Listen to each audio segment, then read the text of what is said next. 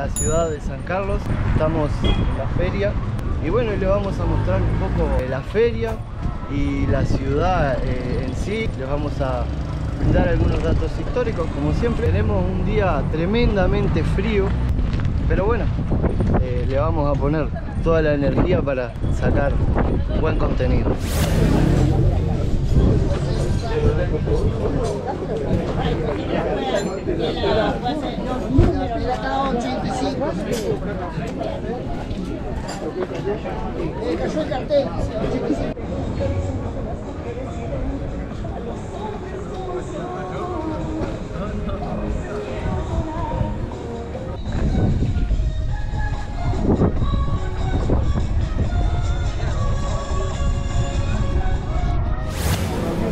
Y bueno, el día de hoy no me encuentro solo, me encuentro con un personaje conocido ya del canal, el, el hombre de los mil nombres.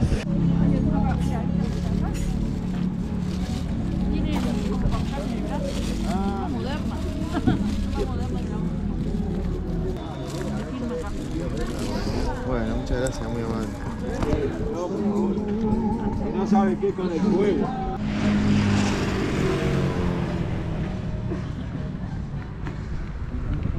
Hola. ¿A cuánto el de verde? ¿No se vende ese? ¿No?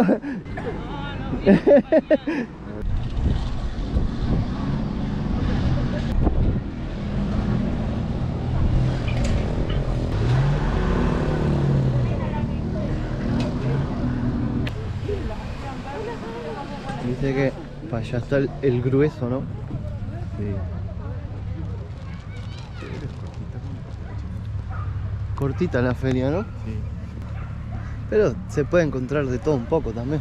Y como que se termina temprano, ¿no? Porque ya están juntando. El frío, Y la gente. Ah, por el frío. Claro. Concentrarte en lo que estás. Sí, sí, sí, sí. ¿Y qué tendremos? Unos 6, 6, 7 6, 7 grados.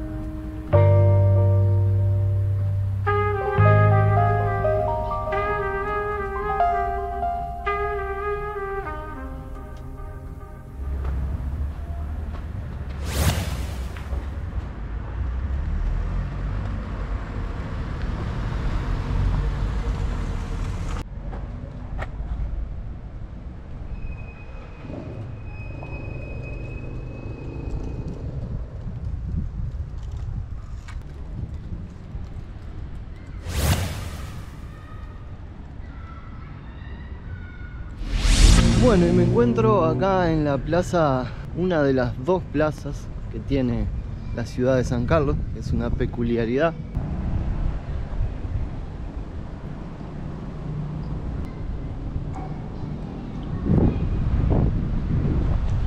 Como en casi todas las ciudades del país, tenemos la estatua del prócer.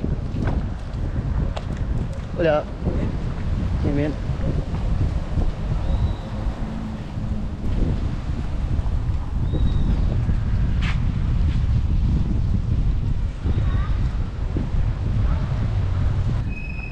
Artigas cuando estaba en proceso de liberación de la patria, en un determinado momento que se encontraba con pocos hombres para la batalla, dijo que si no tenía hombres para pelear, iba a salir a pelear con perros cimarrones. Que el perro cimarrón es un perro cuya raza se creó acá en Uruguay. Tenemos una... Pareciera una réplica de lo que serían los fuertes, ¿no? Como el que vimos en Santa Teresa. Ahora no sé si esto pertenecía al fuerte en su momento o lo trajeron y hicieron como un monumento. Si alguien sabe, que deje el comentario. O idéntico al, a los de Santa Teresa.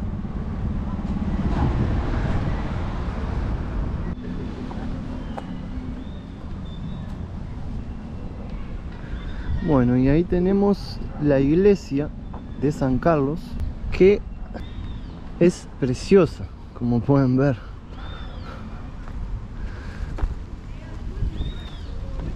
Si bien estuve investigando sobre la iglesia, no pude encontrar algo que me llamó mucho la atención, que tiene que ver con la cantante Shakira, que seguramente la conocen todos, que tuvo intenciones de casarse en esta iglesia, pero no pude encontrar bien si realmente se llegó a casar o no. Me parece que no. Si alguien llega a saber, lo puede comentar. Bueno, y en la sección cosas que solo pasan en Uruguay, acabo de encontrar un paquete de galletitas cerrado en la plaza cosas que solo pasan en Uruguay. A pegar una vueltita por la iglesia a ver qué tal.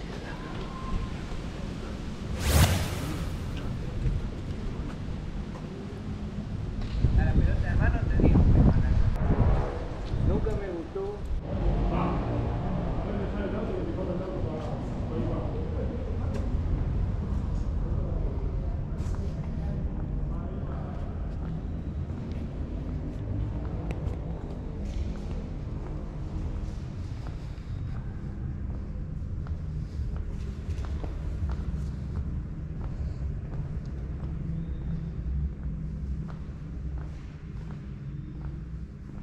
La piedra fundamental de la iglesia de San Carlos de Borromeo fue colocada en 1792 y fue consagrada en 1804. Ha sido declarada Patrimonio Histórico Nacional por el gobierno de Uruguay, puesto que es la iglesia más antigua del país que mantiene su planta original.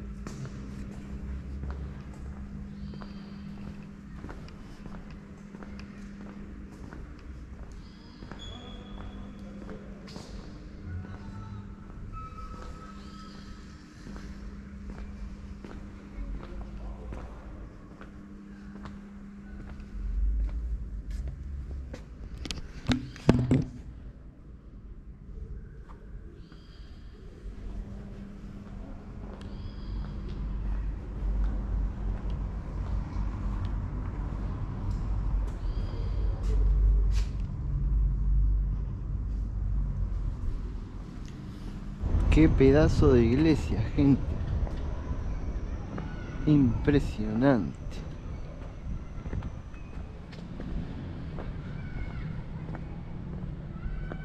Y en esta iglesia sí hay cementerio en el fondo. Fíjense.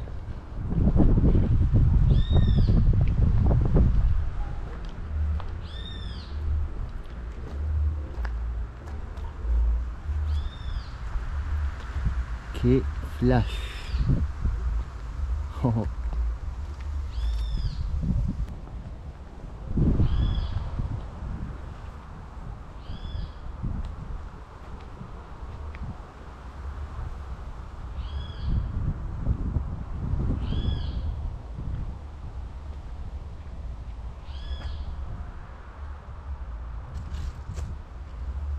Montón de gente, ¿eh? Seguramente serían los, los primeros llegar acá. Sí, claro, 1809. Uff. 1815.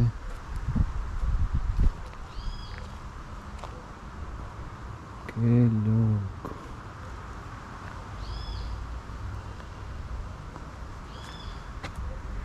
Mirá vos, desertor portugués.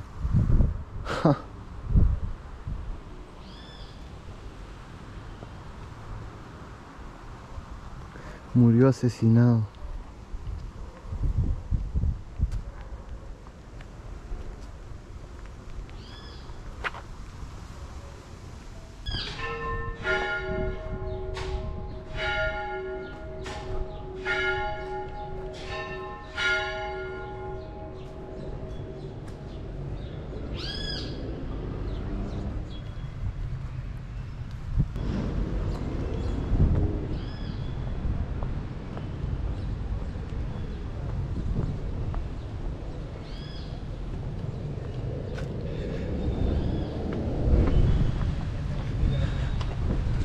Y bueno, la verdad una de las más bonitas que he visto.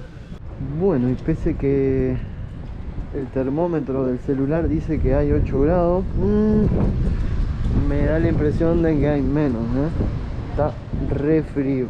Por ende, voy a tener que procurar de conseguir algo caliente para tomar y continuar camino hacia el próximo lugar que les voy a mostrar aquí en la ciudad de San Carlos. Como desde acá se puede llegar a divisar Punta del Este.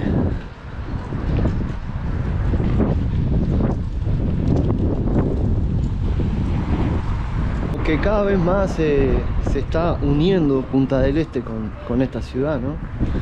Este, uno imagina en un futuro todo conectado, ¿no? Este, si bien sean ciudades distintas. Bueno, el futuro es otra cosa. Como lo es el pasado, ¿no? Y hemos llegado a lo que es la segunda plaza principal de San Carlos. Esta es la plaza que da hacia la avenida que te lleva a Maldonado y Punta del Este.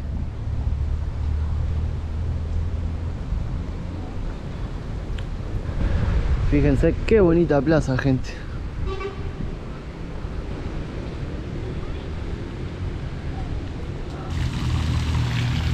Mira lo que es eso.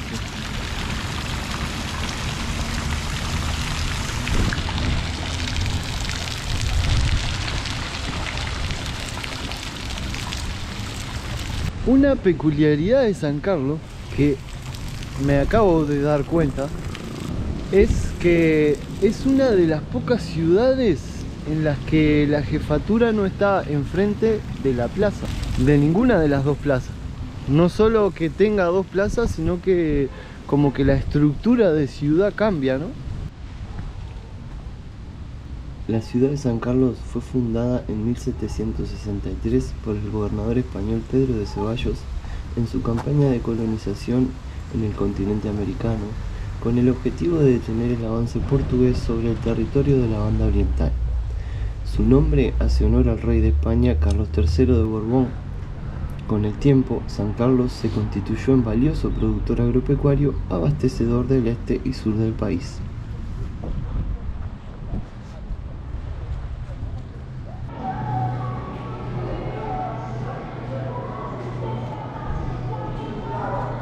Bueno, y he conseguido aquí en la terminal de, ómnibus de San Carlos un café calentito y unos sanguchitos de jamón y queso de postre un alfajor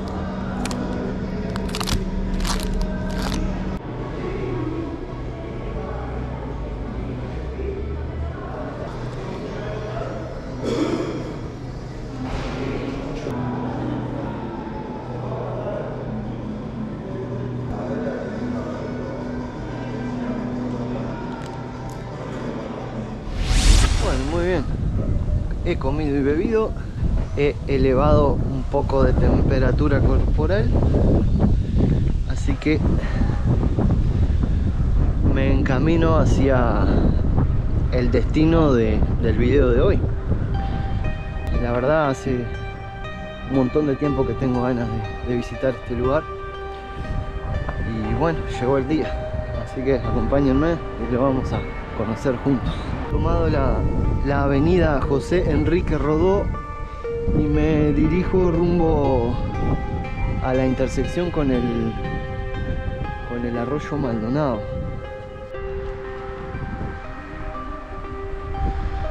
Por ahí adelante tenemos el puente de la Baña. Fíjense lo que es la construcción esa ahí. Una casa bien de la colonia, ¿no? Ya es una escuela en este momento. Bueno, ahí tenemos el puente de la baña. Y acá la edificación que vinimos a conocer, que es el molino de la baña.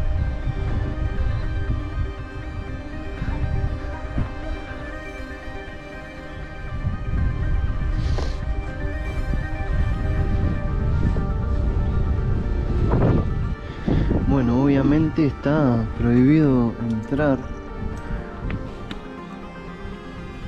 por peligro de derrumbe. Sé la altura que tenía esto, el tamaño, una infraestructura gigante como, como de costumbre en, en esas épocas, ¿no? Este molino fue construido en el 1884 por un trabajador italiano llamado Ignacio Lavagna, el cual se dedicaba a, la fabricación de harina y decidió instalar este lugar acá con la peculiaridad de que funcionara a base de energía hidráulica, la cual se la proporcionaba el mismo arroyo Maldonado.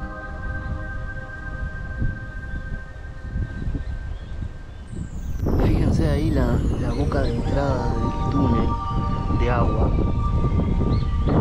Se podía, se podía ingresar un caudal importante porque yo supongo que esto al crecer tira más agua, ¿no?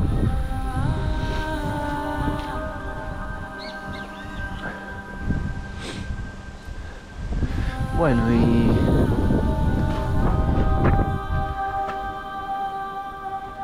como digo siempre, el que, el que no arriesga no gana. Uh, miren eso.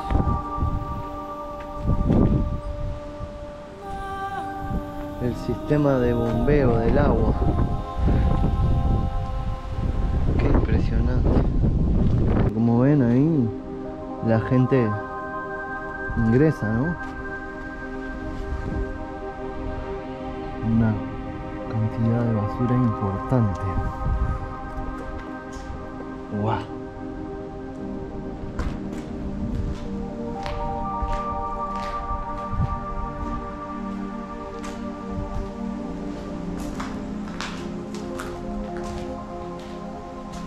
Bueno, ahí tenemos lo que vendría a ser una, una estufa.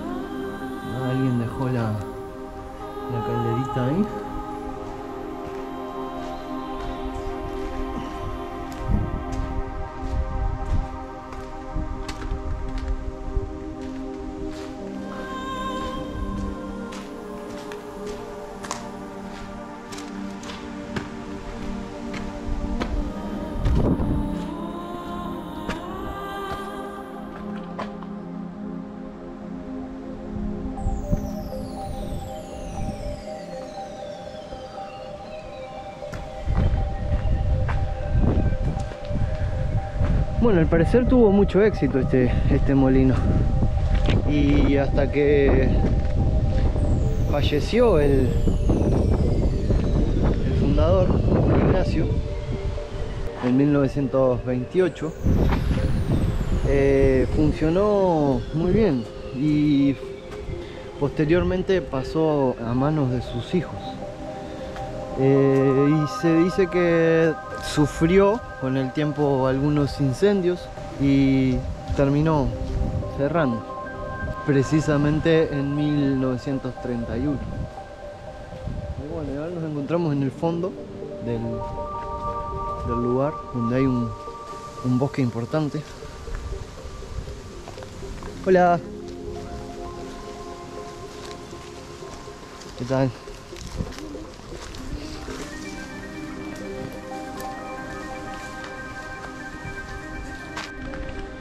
Fíjense ahí las palmeras en el fondo de la casa, todas plantadas como que en una línea perfecta.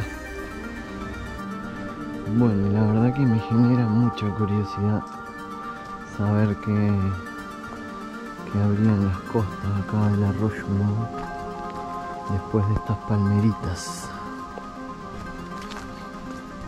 A lo lejos allá diviso más palmeras plantadas también perfectamente alineadas con el camino. Allá veo más, así. Pero también siento ruidos. Como que hay algo ahí. Listo, gente. Hasta acá se llega. Aquí se llega a propiedad privada. Así que nada. Las palmeras esas son lo último. Fíjense que de allá venían las bombas. Y acá como que habían creado un canal que se ve que desagotaban el agua para acá. Esto era un canal. Y acá en, en el costado del canal me encuentro con un árbol no enorme, recontra enorme. Fíjense lo que es ese árbol, por favor. Barbaridad. ¿Cuántos años tiene esto acá? Eh, hongos. No sé, pero para abrazarlo se necesitan un montón de personas. Y, está muerto, ¿no? El árbol. El tronco nomás. Es como que era el árbol. Ah, ya hay otro. El árbol de- del fondo.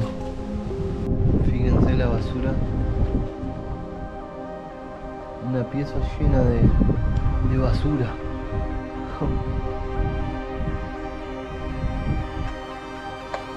Tremendo, tremendo, tremendo.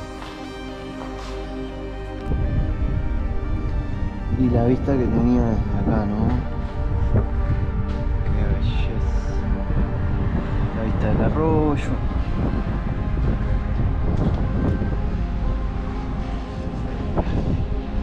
También ahí podemos ver el porqué de, que no dejen entrar, ¿no? Porque está nada, a, un viento de volarse esa chapa.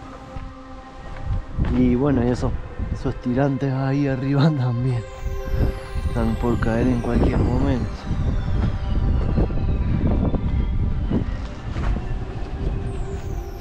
Y desde acá se puede ver que ahí arriba hay otro piso más. Y otro más allá arriba.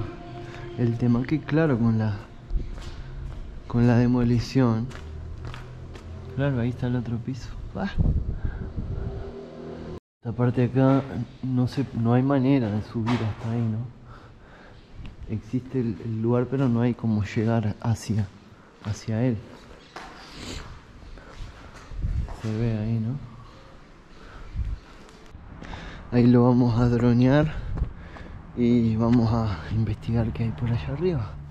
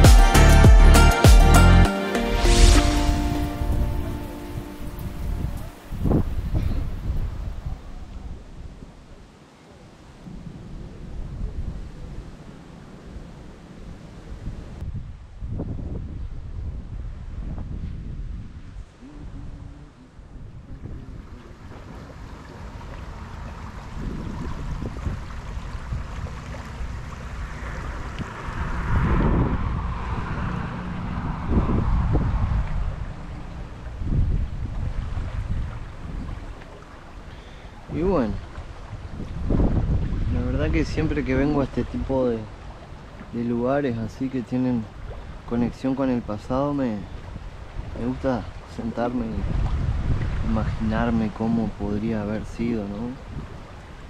En ese momento de auge, este lugar, cuando tu producción abastecía gran parte del país de, de harina, ¿no? Se,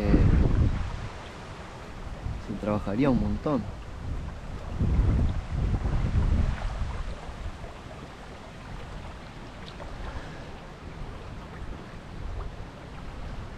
La realidad es que la edificación no estaba en ese momento tan cercana a la ciudad, pero hoy en día sí, y eso hace que esté bastante vandalizado el, lugar, ¿no? Y con tanta basura, porque la, la ciudad ha ido creciendo y, y se ha conectado con este lugar.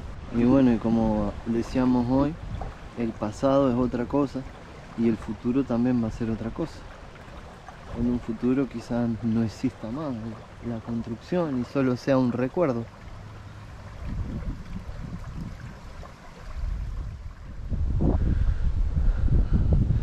Bueno, y acá vamos cruzando el puente de la baña. Y fíjense qué bonito que cae el sol ahí a- que se está poniendo por allá. Tenemos el arroyo ahí abajo y le da el sol de pleno ahí a esa pared. Bueno gente, desde este maravilloso punto de nuestro país me voy despidiendo de ustedes.